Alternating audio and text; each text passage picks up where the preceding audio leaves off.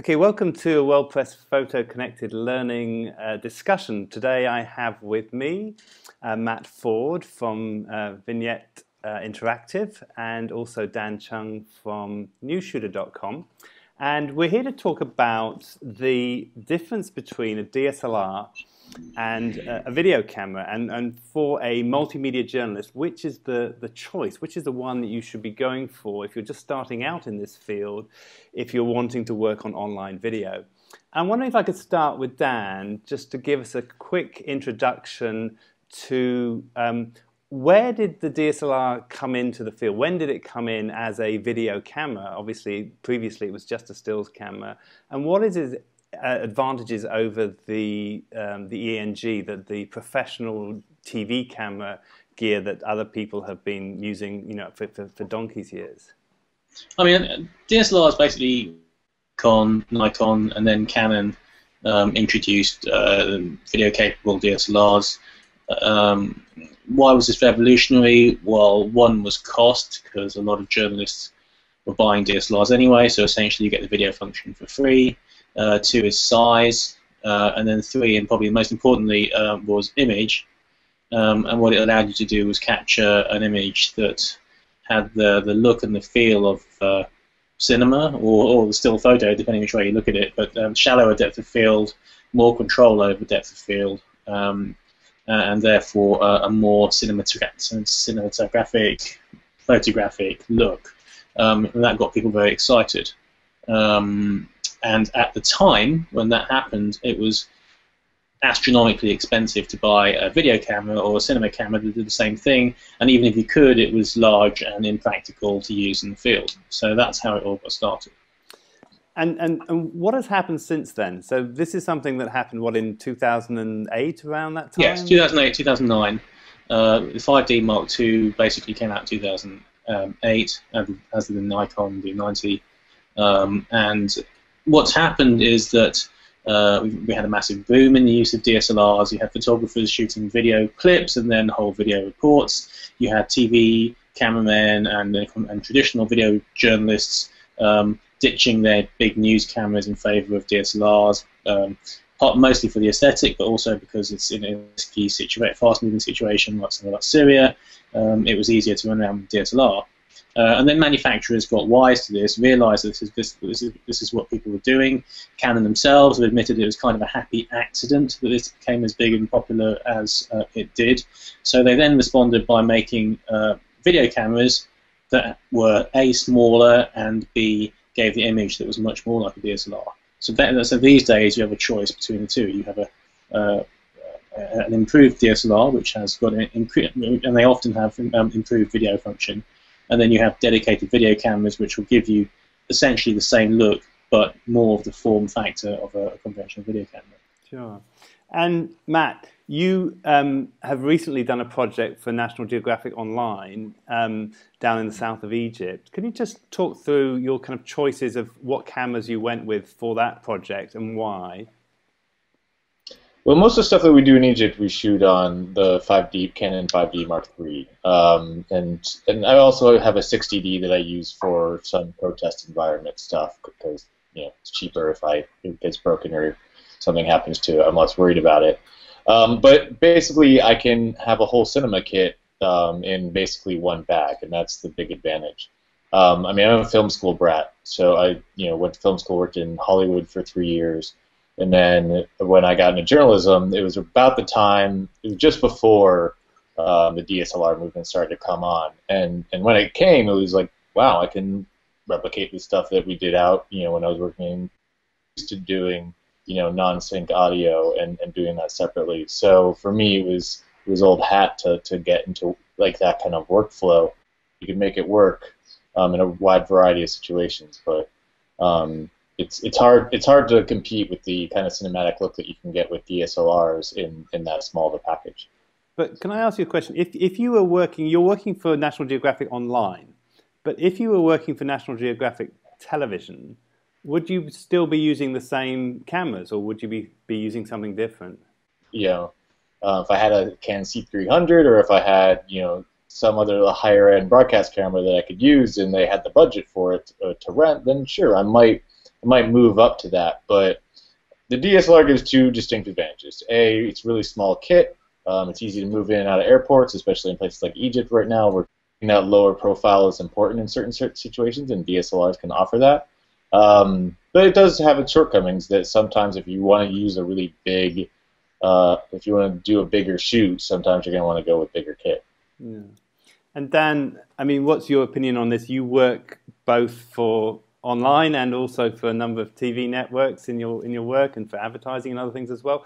So, you know, wh- when do you make the choice to go with a DSLR as opposed to uh, taking a, a, a, vi- well, a dedicated I, video camera? I, I honestly think we're probably beyond DSLR now for most, just because if you're going for, you know, if you've got a, a well-paying TV job, you will obviously be looking to use a camera that's dedicated for that. Uh, but actually, on on the on the sort of um, compact system cameras, which aren't technically DSLRs, which I would also argue are a better tool um, cheaper, smaller, lighter, more likely to have the right video function than a DSLR does.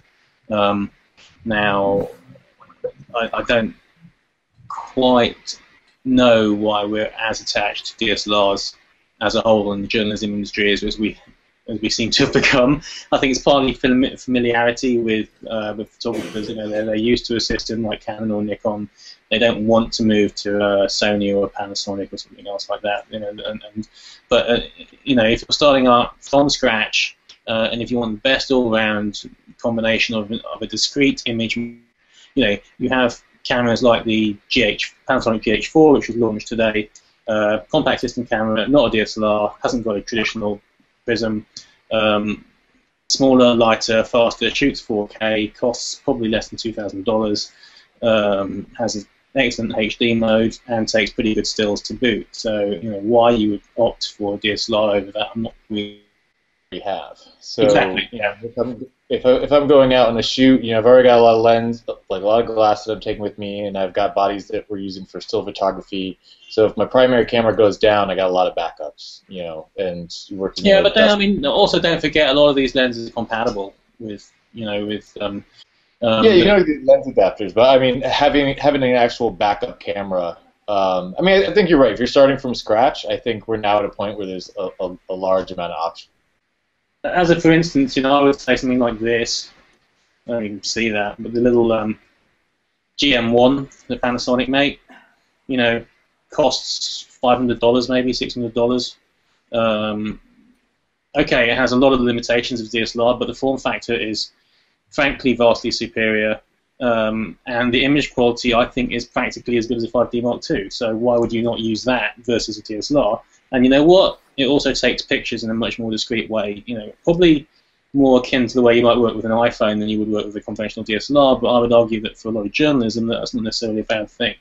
So mm. you know, um, absolute technical quality for a piece of kit like this in stills versus the 5D Mark III, of course, the new New World Order video is probably the priority. Stills is the sort of you know um, the second most important thing. They're both quite important, but I, I think I, have a hard time recommending a 5D Mark III over a camera like this, which is, you know, you can buy four of these for a 5D Mark III body, probably five of them, you know, have as many spares as you wanted and have superior image quality. That's a hard thing to argue against, I think.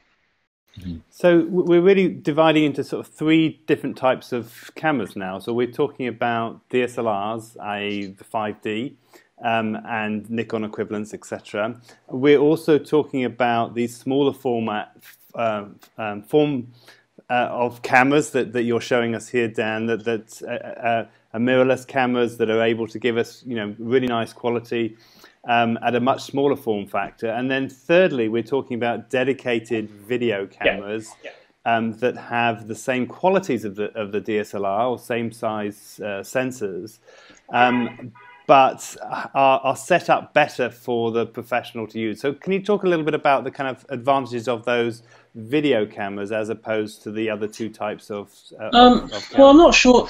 Okay, for journalism, I'm not sure that they have as big an advantage. They have an advantage if you're in a, uh, a set sort of production um, cycle, you know, and you're working for a, a broadcaster or somebody who, who wants their their file a certain way, needs the audio a certain way, needs to have, needs to expects to see a certain kind of file delivered to them.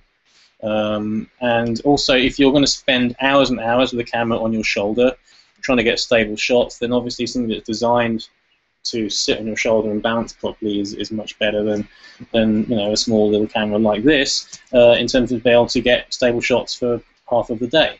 That's the reason why news cameras look, look the way they are. I mean, people, I think a lot of people, there's a misconception about why the news camera is the way it is. You know, it's not big and heavy just because for the sake of being big and heavy. It's, it's big and heavy because it adds usability to the, the fun, you know, the, the, form of it is designed to be usable and get steady shots for a long period of time, be able to stand outside court, be able to run around and do various things. Um, so that's that's probably why uh, a professional video camera optimized for video um, has advantages. Uh, then you've got cameras like the C300, which are actually slightly different. Um, concept-wise, they don't really go on the shoulder. They're more designed to be used in the hand, um, but still have fantastic image quality. Uh, what they all have in common is really good audio. Um, they have neutral density filters. They're quick to use. They provide better images. As simple as that. Um, but I think there's a whole other argument you know, in favour of like cameras like this, we've got another one here. This is Sony A7R, um, which is, uh, I think, far more used um, as a video camera, and actually probably the stills camera in a lot of instances to uh, something like a 5D Mark III. You know, I mean, it's it's tiny. You know, in this case, Sorry. I've got micro lenses on it, um, but it has a microphone jack, a headphone jack, audio level meters, peaking, magnification of the image while shooting, full manual control. Um, okay, the absolute image is not as good in this as a 5D Mark III, but for most online publication, you'll never notice the difference. So, you know, it's a photographer's yeah. tool, actually. Yeah. I mean, for me, the biggest the biggest difference is something from photography is, is really the ergonomics. Um, I mean, my shooting style for video is I tend to I tend to keep it about center chest uh, my camera most of the time. Little amount of time on shoulder, not a lot of shots at eye level, but I like to get high shots and I like to get low shots. And most DSLR rigs just are not as conducive to, to moving around to getting those kind of variety of height angles because you're kind of stuck to looking at the monitor. You need an external monitor on board. You need to put stabilizing stuff on it to make it work um, for your kind of ergonomic approach um, if you're used to shooting video. So most video cameras are kind of built, you know, for that kind of shooting style straight out of the box and have all the audio equipment and you don't need to add ND filters. Um, so it's it's if, if you're strictly doing video, some of them are just you know at the base level more geared towards that. Um, but there is, there is something to be said for just. I mean, I think I think the 5D Mark III and the cameras like that are probably the worst ergonomically. But actually, that as a video tool is surprisingly ergonomic. You know, you can actually just hold this. Um, you know, it's got an EVF that's higher quality than the EVF in the C300. You know, you have a flip out screen. If you want to go high, you can flip it up and down. You know, you can, you can look any which way at it. You can hold it at chest height, and you've still got audio level meters. You've got autofocus that functions if you have the right lens. Um, honestly, I think this is where it's going. And by the time you've got five-axis stabilization, which for those of you who don't follow this stuff basically means that the sensor will move to combat shake. Um, you know, for journalism, I think it's either this or it's something big, and I think it leaves the sort of DSLR dust, to be honest. Okay, great. So just to conclude, so we're looking really, we've divided the, the, the, camera market into three different types of cameras. Um, and we've said that the, the video camera, uh, the video uh, camera that's dedicated as video, has got um, some some great sort of advantages in terms of the way that you hold it. It has ND filters built in, which means that you can get those wide apertures in bright light uh, without having to to screw something to the front of the lens, um, knowing that with video as opposed to stills, uh, that you're dealing with much uh, slower shutter speeds than you would be able to do mm. um, with a, a, stills camera. Um, there's also fantastic audio quality, the audio functionality. You don't have to pin uh, other things to your camera uh, and, and, add monitors and other things as well. So um, overall, the video camera um, will give you a, a, big advantage just for video. But on on the on the downside, you don't get still pictures out of it, which you may do, particularly if you're doing an online piece, and you know you need to have stills as well as video. And uh, as Dan was saying, that the smaller form factor and some of the amazing things that the functionality that's coming into these new cameras that um, with these new cameras as a journalist, this gives you all sorts of other advantages of keeping a low profile, being able to get into places, work quickly, um, not have to carry so much gear, etc. Uh, as you're working and still get amazing quality. So just, just a final question to both of you. If you were going to be recommending to somebody on our Connected Learning course, somebody who's just starting out uh, for the first time, is considering being a multimedia journalist, working both with stills and with video, um, and they're about to buy equipment, in terms of the camera, um, would you have one choice or one place where you would go right now? Let's start with Matt. Um, I don't have like one product that I could recommend because honestly, I think it's really different for everyone and their shooting style. I mean, get the best image quality you can and get to a big store like B&H or some other place where you can get your hands on a lot of different stuff and and try and figure out what's gonna you know fit you the most. Um, Dan probably has more experience working with a lot of different cameras and stuff. He might be able to recommend something. Uh, but I haven't reviewed like the latest line of stuff in the past six months for you. I mean, I think entirely like actually Matt says entirely depends on depends on your budget and who you're working for and where you see yourself going. If you're studying and you're purely intending to study, you know, not you're not trying to make your living for the next 12 months or so. Um, I think I would push towards a compact system camera, um, mainly because they're not that expensive. Um, I would argue that if you had a significant pool of money for your studies, um, that it would be best spent um, on probably as little kit as possible and as much uh, traveling, um, shooting, um, and project work as you can actually do, because that's where you're going to really learn you know your trade and, and the gadgets will have changed by the time that you get around to actually graduating and doing something um, with that equipment. So um, I, I, think it's a common mistake that a lot of people go on, on, on, multimedia courses actually make, and it's to spend a hell of a lot of money on equipment to start off with, get probably the best that they can get, and then have no money to actually go and shoot anything. Uh, I, I, I, would totally recommend that they, you, you, you shop economically, get something that's good but not maybe the best, um, and and take another view in 12 months when you're actually not, you know, you're actually out there doing it for a living, and hope that you might actually have got a job with somebody who's actually going to provide it for you anyway, so you're not having to provide it yourself. When I mean, when I was in film school, like we had to buy film stock. We had to spend tons of money on film stock, and we had to rent very expensive equipment. Um, we couldn't even dream of owning any of this stuff. Like I wish that these tools were around, you know, when I was when I was studying or first breaking in was absolutely right. We're at this really fortunate time where you know people are doing really amazing work on their iPhones. So you know, focus on telling stories, focus on doing that really well, and like invest in getting the good audio with those cameras, and invest in the projects because as you make more money, as you get more projects, you can invest in in kitting yourself out more and more and, and build off of it. I mean, a lot of what is it inspired my kit is it's just this, the stuff I keep building out over time. Yeah. Uh, yeah, so just you try to feed one story, and that influences the, the kit that you eventually build out.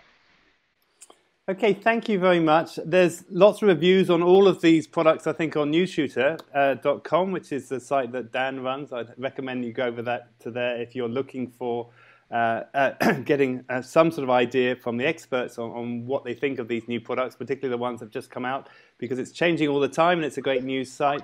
Um, thank you also, uh, Matt, for uh, joining us. Matt is one of the tutors on uh, the Connected Learning, the World Press Photo Connected Learning, um, and uh, we'll be uh, coming back and forth uh, throughout, as I'm sure Dan will come in once or twice as well before we get to the end. Thank you very much, gentlemen.